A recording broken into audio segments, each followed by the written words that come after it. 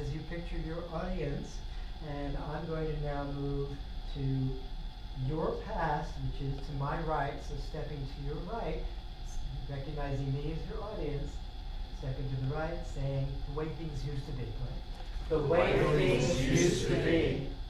Back to the center. Our company stand on the subject is. Our company stand on the subject is. Future, pointing to your left, the audience is right. Where are we heading from here? Where are we heading from here? Back to the center. What I stand for is. What I stand for is. What's been holding me back has been. What's been holding me back has been. Now what's been holding me back is pushing me forward. Now what's holding me back is pushing me forward. Our backers are supporting our work. Our backers are supporting our work. Confide. The real secret to my message is. The real secret to my message is.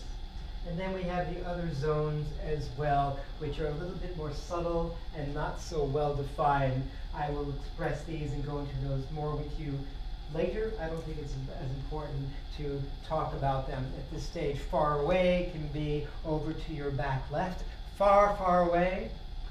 Far, far away. Over to your back right. Research has shown. Research has shown. Over to your front right. I've been thinking about this for a long time. I've been thinking about this for a long time. And over to your front left. Here's an exciting new point to share with you. Here's an exciting new point to share. Which all comes back to my stand on the subject is. Speaking to yourself first Speaking to yourself first. that conveys your message. That conveys